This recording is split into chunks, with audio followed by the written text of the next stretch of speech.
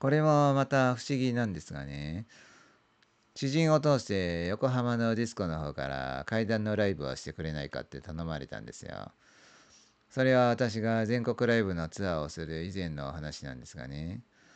たまにそういうこともしてたんで、ああ、面白そうだね、いいねって一つ返事で受けちまったんですがね。ところが、それからどのくらいだったかな。私は大阪の番組が終わると、そのまま飛行機で羽田で帰ってくるんですがね。それで飛行機について乗りながらぼーっとしてると、頭の中に映像が浮かぶんですよ。その映像っていうのはね、ディスコなんですよね。黒い色をしてて、ちゃんと丸い舞台もあるし、ミラーボールもある。照明の位置も分かってる。丸い鏡もあってね、非常に具体的なんですよ。しばらく行くと壁の壁の鏡の間から楽屋口が見えて質問が見えるんですよ。それでうちのスタッフに「いやこういこういう映像が見えてさこれってもしかして今度ライブするディスコかな？そこに行ったことあるんですか？いやないよ。横浜のディスコ。でも随分細やかに状況が見えてますね。ああだから不思議でね。なんか気になるんだよね。なんて話はしてたんですよ。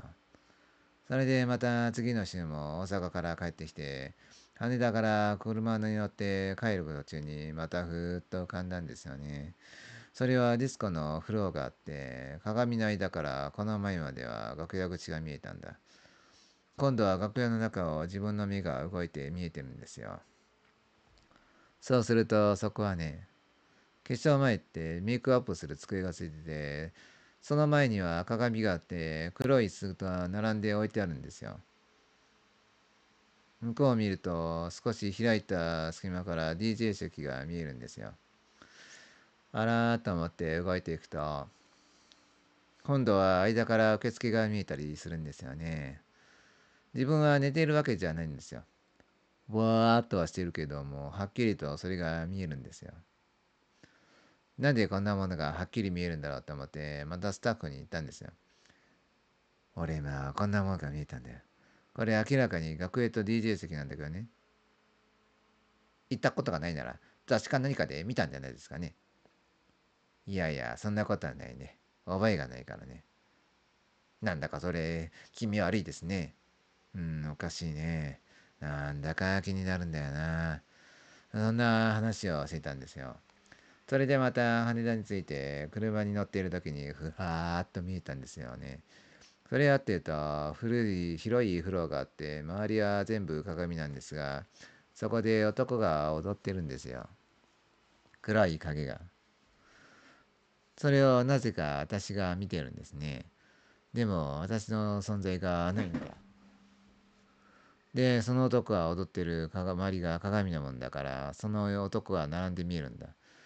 当時そんなディスコが流行りましたよ。一人の男は何千人は見えるんだけど、それを見てるとその中に一人真っ赤な男がいるんだ。そんなわけないんだ。黒い男は鏡に映って見えるなら全員が黒いはずなのに、なんで赤い男がいるんだ。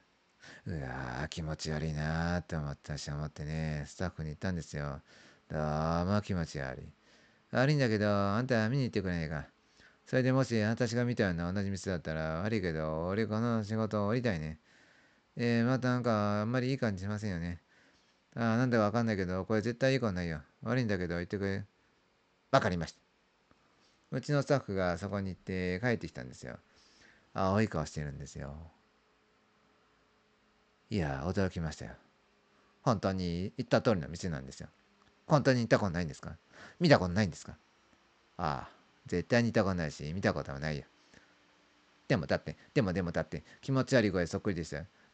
でも私、そのいい感じしないってその話をしたら、向こうも何も言わないんですよ。そう。じゃあ改めてあちらに行ったらちゃんとお断りしましょうね。ええ。はい。っていう話になったんですよね。行かないわけにいかないですから、でもね、それはもう私のライブの1週間前なんですよ。チラシのポスターもできて配られちゃった後なんですよね。普通そういう時って絶対にこちらに責任ありますよね。で、私言ったんだ。これは絶対普通じゃねえからと思って出かけたんだ。それで、そ、そこにちょうど向こうのスタッフも方がいたんですね。あ、どうも。稲川さん、来週はどうも。あ、あのさ、ここ昔に何かあったの？いや、そうじゃないんですけど。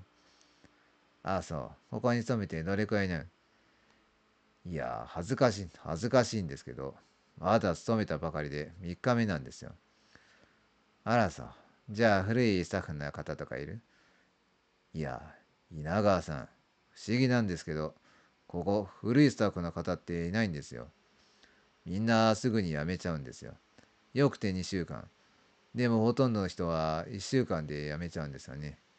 どうして？いや、稲川さん、出るらしいんですよ。私はまだ見ていないんですけど、どんなものが出るの？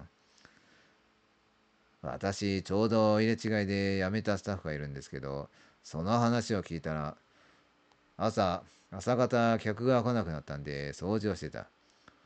その目の前にふっと誰かが立つんで、まだ客がいるのかと思って、ふと見たら、それ、稲川さんね、全身真っ赤な男だったって言うんですよ。そんなやついないでしょ。それでその人を辞めちゃったって言うんですよ。話だけ聞きました。当たってるじゃないかと思ってね。それで今夜はオーナーさんにお会いしたんですよ。この方はもともとモデルさんでとても綺麗な方でね。でも歯を少し折っちゃってるんですよ。で、口元を手で隠しながら話すんですけどね。話していましたら、マネージャーまで来ましてね、お断りしたいって話をしたら、ええ、わかりました。で、二つ返事で私のことを許してくれたんですよ。賠償も弁償も何もないんですよ。逆におかしいと思ってね。そしたら向こうが、稲川さん、どなたか素晴らしい力のある霊能力者の方いらっしゃいませんかね？って言うんですよ。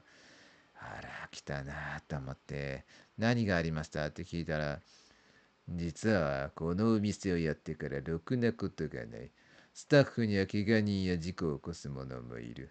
で、そのモデルさんだった若い綺麗なオーナーさんもね、このお店を出て車に乗った瞬間に車がスピンしてぶつけて歯を折ったって言うんですよ。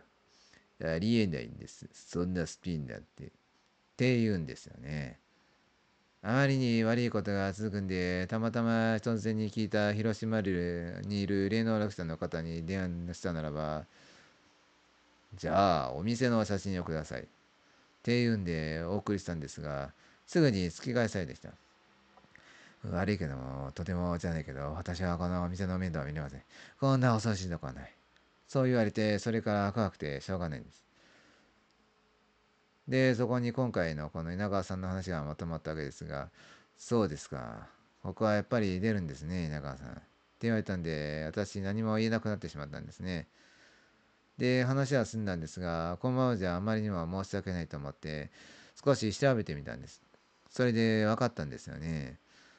実はこの建物というのは、このオーナーのお父さんが建てた建物で、お父さんは不動産の仕事をしていて、でもこの建物やディスコができる以前はずっと更地だったっていうんです。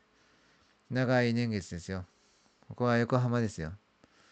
なんで更地だったかっていうと、この辺りでかつて暴動があったっていうんですよね。その暴動でたくさんの人が殴り殺された。それは戦時中の話だというんですがね。それで殴り殺されて散らばった死体。それをそのままにしておけないから警察が始末をしなさい。で、たまたま空き地があったからその死体を持ってきた。持ってきたけど腐ってるし汚いからどうにかしろって言われたんで、なんとその空き地でいくつもの死体を焼いたって言うんですよ。だから誰にもこの土地には手をつけなかった。でもオーナーのお父さんがその土地をたまたま買ってビルを作ったって話を聞きましたね。いや時代が進んでも一体人の恨み、思い、怨念というのは霊となってその地にずっと追いつくんですね。